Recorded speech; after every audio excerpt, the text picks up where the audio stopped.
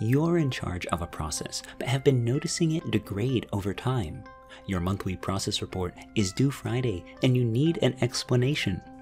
Pat has always been your go to for these kinds of issues, but he's been relocated to another site with no local Pi server, no shared network, and no easy access to data. What can you do? This is where OSIsoft Cloud Services can help. You simply open up the OCS portal and quickly build a display with the key operating parameters. Now, you want to share this display with Pat. No problem, just grab the hyperlink and off it goes.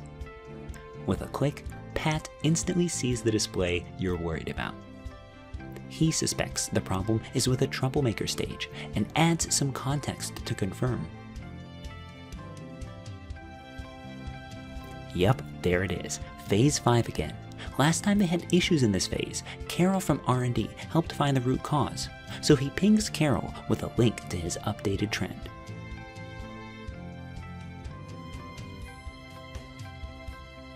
Carol gets the trends, but wants a better understanding of where the data is coming from.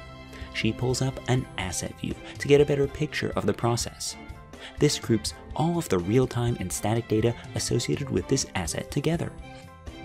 And she notices she can pull in temperature readings and adds them to the trend. Satisfied, she can now switch back to her trend view with the click of a button.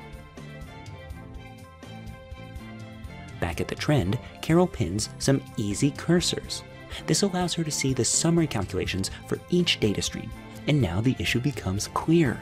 Average temperature looks good, but the max is going above what the reagent can handle.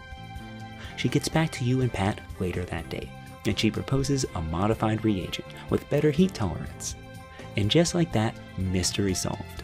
Three different workers, three different sites, seamless collaboration. Now you can create your monthly report with confidence. That is the power of cloud.